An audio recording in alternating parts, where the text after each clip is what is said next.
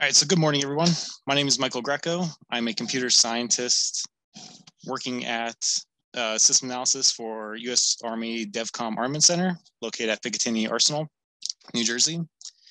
I'm the lead developer for a modeling and simulation tool that aids in the decision analytics of weapon systems called PRISM, which I'll be talking about today. Uh, I'm also joined by Dr. Matt Cilli, systems engineer from Johns Hopkins Applied Physics Lab, who will be presenting the context of decision analytics in the US Army. Uh, Dr. Cilli has dedicated his career to studying and improving the decision-making process used within the Department of Defense.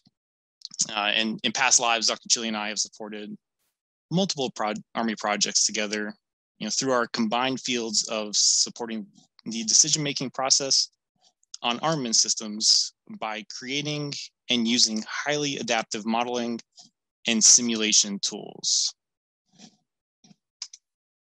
Next slide. So in this talk, we'll discuss uh, decision analytics as it relates to the Department of Defense and how PRISM was developed by the Armament Center to support that process through the generation of quantitative performance data.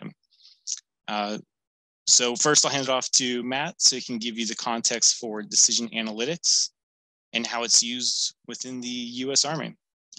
Dr. Cilli? Yeah, thanks, Mike. I appreciate it. Um, so as Mike just said, we thought we'd start this brief with just a little bit of context. And it's only a few charts here, and I'm gonna dive heavy into to Mike's PRISM briefing. But our context starts with um, where we use this modeling and simulation approach. Um, and we often use it um, in the very early part of the V, in the early phases, uh, where we do a lot of our system architecture, evaluation, and decision making. And it's uh, widely recognized right, that this part, this architecture decision making, is enormously important and particularly vexing. it's really important uh, because these decisions drive the ultimate value of the system. Um, the, these kind of decisions have to do with function and form, and they occur very early in the system lifecycle, but shortcomings introduced through uh, perhaps unwise choices in this early phase you know, can't be easily fixed um, or fixed at all in, in subsequent efforts later in the phase with the detailed design phases, uh, regardless of the quality of that detailed design effort. So the architecture really drives uh, a, a lot of the value uh, uh, proposition of a system. So that's why it's important. Uh, but the decisions are also vexing um, the, because they're highly consequential, as we just mentioned. They're highly coupled, these decisions are. Um, and they have to balance multiple objectives in the presence of uncertainty and ambiguity. Um, so that's very complex and faced with a lot of complexity that will surpass any of our cognitive limits. Uh, we often are tempted to just employ simple heuristics, oversimplifies the, the problem in a way that's prone to bias or logic flaws. So what this decision framework that we're talking about today and, and the modeling and simulation approach that we're talking about specifically, um, it looks to replace these heuristics with a, a process that avoids all these pitfalls uh, and generates a, a, large solution space for the architecture. Um, it helps explore the consequences of each potential architecture across all our measures of effectiveness and then synthesize it in a way and communicates in a way that can help decision makers find uh, rapid and thorough understanding.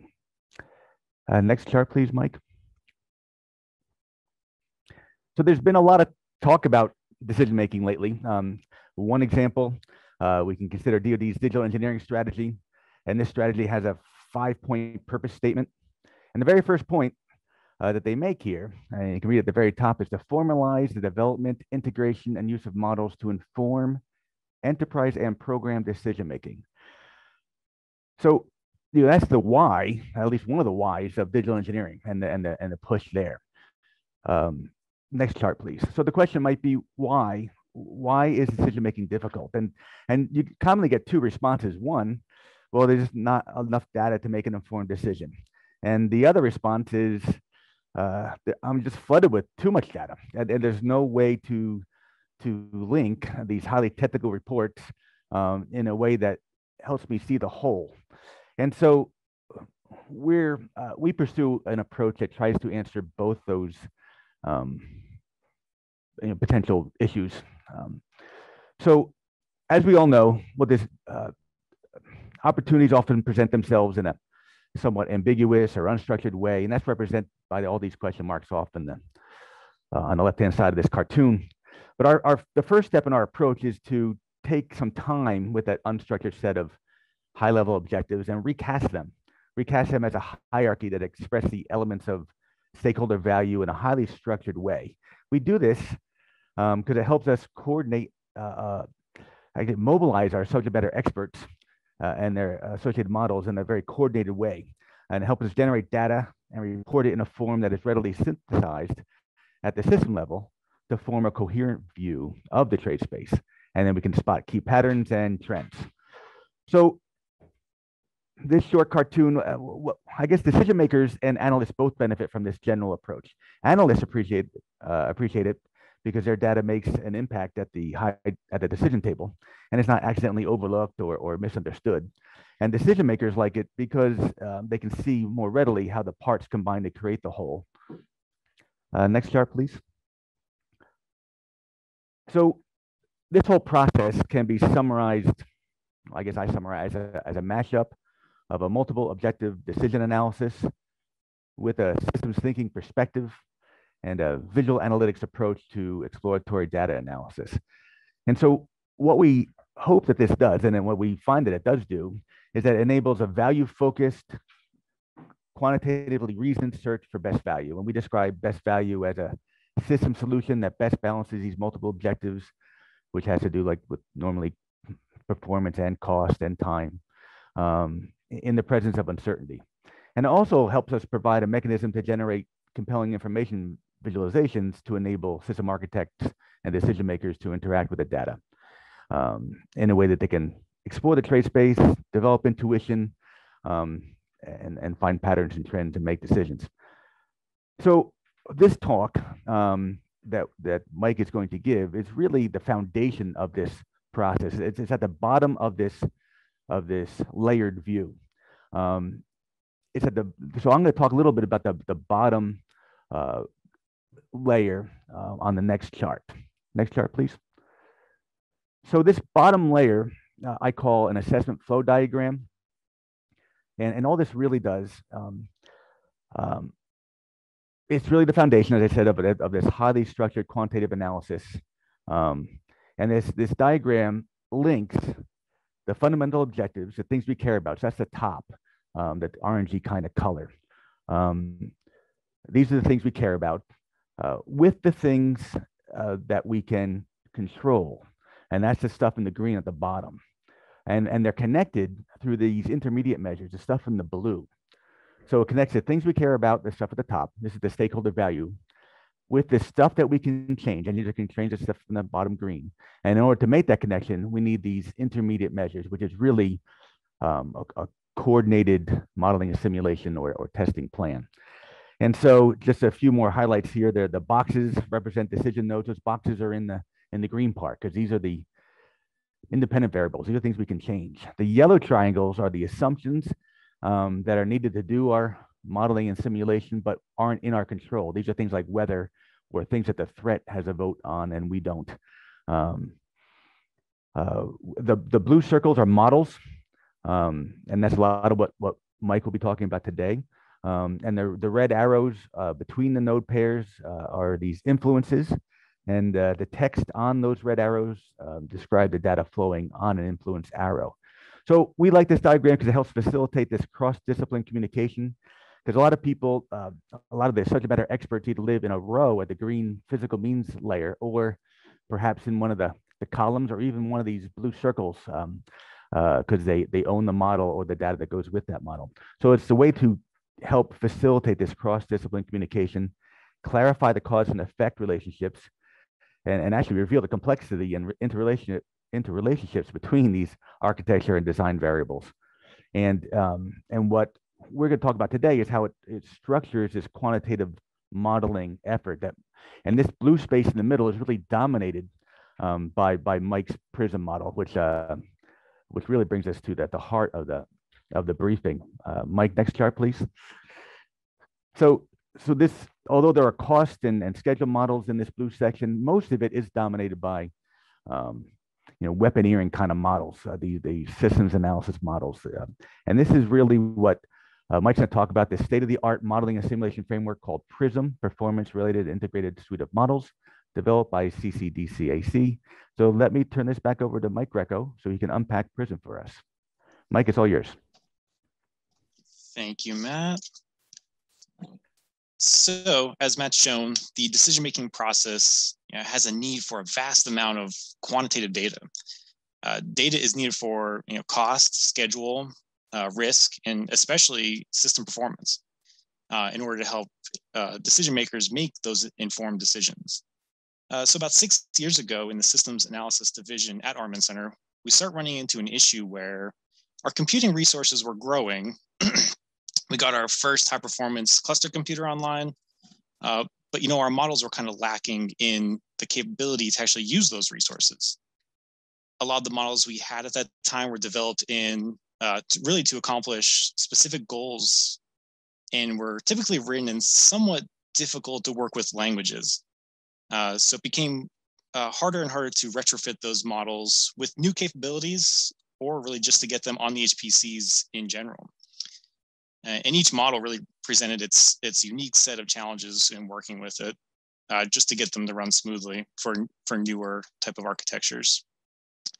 You know, so we decided to develop a framework that would help us run simulations in uh, many different operating environments, and that framework became known as PRISM. So PRISM stands for Performance Related and Integrated Suite of Models. It is a lightweight fast uh, modeling and simulation framework written in modern day C++. Uh, Prism at its core is a set of functions, classes, objects uh, that really facilitate the development, integration, and execution of system-based models in a time-stepped virtual environment. Prism incorporates a small set of industry-proven uh, libraries that aid in the creation of model codes, such as the Eigen linear algebra library, the ISI, ASIO library for asynchronous networking. Um, you know, and, and, Prism employs a series of abstraction layers that really help provide that modular interaction between different types of models um, in the dyna dynamic scenarios. And then working outward in our Prism Onion here, uh, you know, we integrate subject matter expert developed models which are typically written in MATLAB or Simulink, some other environments um, that are then uh, reusable for other analysis. And then finally, Prism interfaces with external systems as well. Uh, you know, that includes tying into larger operational sims where there's, you know, many on many type of actors in the simulation. And also uh, through the networking, uh, we've also tied into physical tactical systems providing that hardware in the loop uh, capability as well. Having Prism be modular was extremely important to all these stakeholders involved in the development of Prism. Um, every model that plugs into the Prism framework is compiled and built as a dynamically loaded library. Uh, so it's a DLL on Windows or uh, .so on Linux. And through the system of dynamically loading functionality, uh, coupled with the highly scriptable XML input interface, Prism's able to reuse and repurpose the models that are built for it uh, to accomplish different, goal, different goals. Some of the different types of weapons-based models uh, that are typically integrated or developed uh, include uh, movement models, you know, which can be ground movement models, uh, you know, ballistic flight models, or smart munition SIGINT type models. Uh, there's also fusing and warhead models, uh, lethality and vulnerability models, and also sensor models, uh, to name a few. And because we have this library of SME developed uh, functionality uh, that we're then able to mix and match, Prism is able to rapidly develop uh, system performance prototypes uh, so this enables analysis teams to develop large trade spaces and run millions of Monte Carlo simulations uh, to help find those optimal design influencers.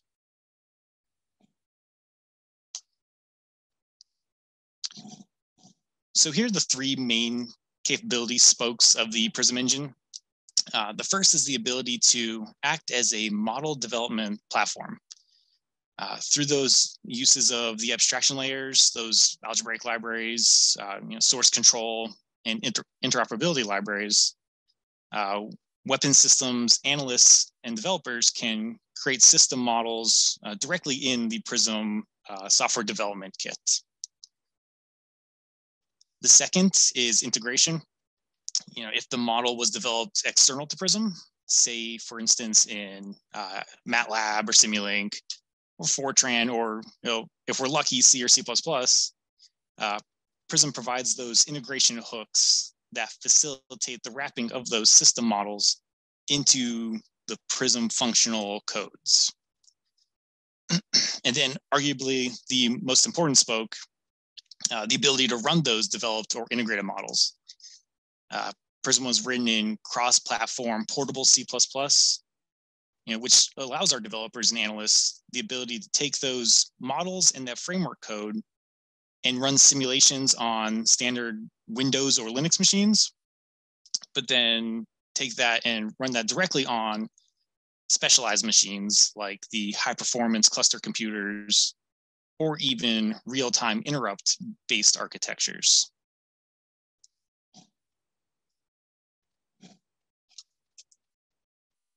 And through this modular ecosystem of flexible development, integration, and execution of system models, uh, Prisma has enabled the Armament Center the ability to quickly iterate on weapons system design activities by providing you know, up-to-date lethality and effectiveness estimates into the decision analytics process.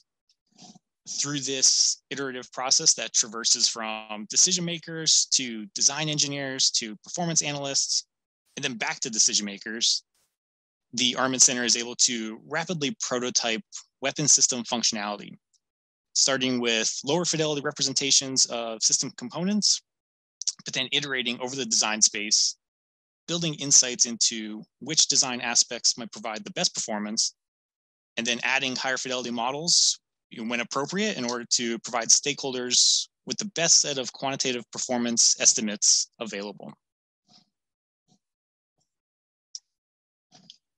So I want to give two uh, quick examples of how PRISM is used uh, traditionally to help uh, shape armament system development.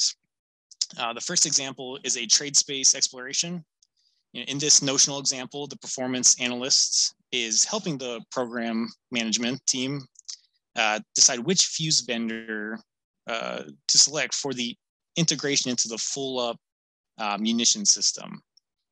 So the Prism modeler can work with the different vendors.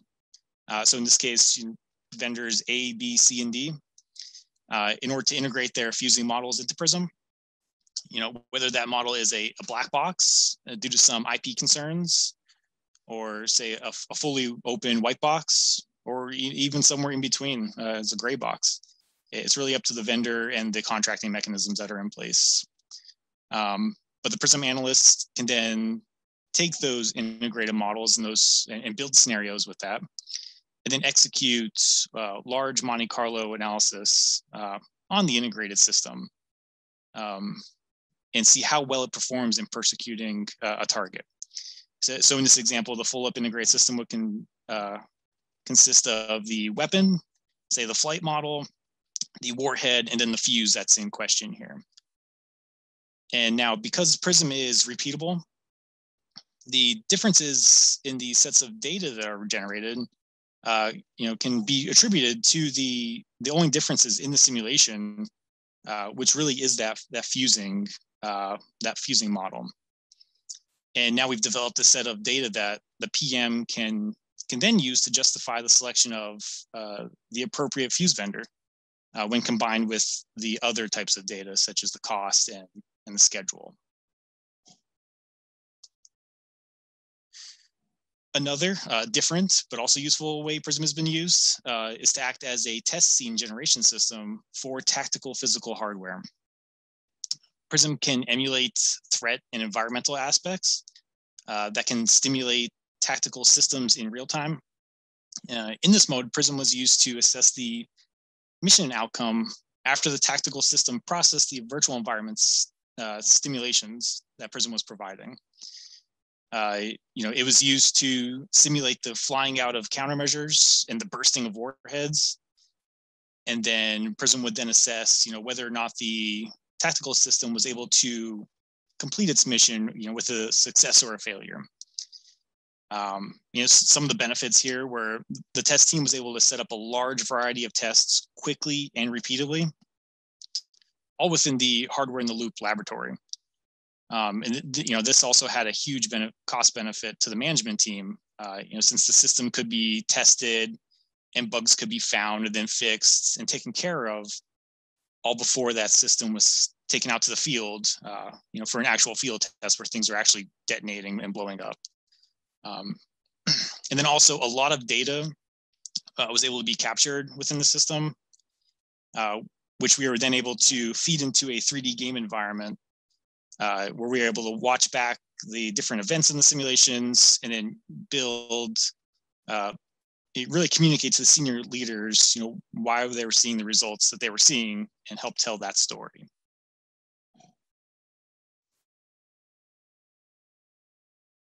so getting to the end here um, so you know just to wrap up with what prism is and how it's used to help inform the decision analysis process um, again, PRISM is a modeling and simulation framework that facilitates the development, integration, and execution of system-based models.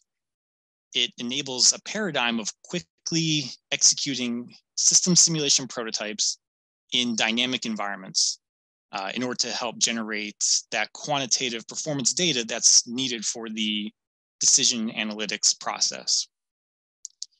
Performance data is then combined with other data such as schedule, cost, and risk data, uh, just name a few, in a logical way that helps decision makers uh, make those informed decisions on you know, Army programs. PRISM has been used to support a wide range of US armament systems from domains like indirect fire, direct fire, uh, air defense, anti-personnel, area denial, and also special projects that don't really fit nicely into you know those traditional categories. Um, that's actually one of its strong points that it's it's able to adapt and meet those new novel concepts that uh, decision makers really need to analyze. It also runs on a variety of machine types. So modelers are able to take uh, really use their everyday computers, uh, their email machines to develop simulations, but then take those simulations and those codes to specialized hardware in order to run those millions and millions of Monte Carlo simulations in order to help build that statistical confidence in those results. And finally, PRISM is fully government developed and controlled. Uh, and we're constantly evolving the framework's capabilities in order to meet weapon system analysis challenges. And that brings me to the end. Uh, just want to say thanks once again for letting Matt and I you know, talk to you a little bit about decision analytics and, and how it's supported with our, our PRISM tool here. Thanks again, everybody.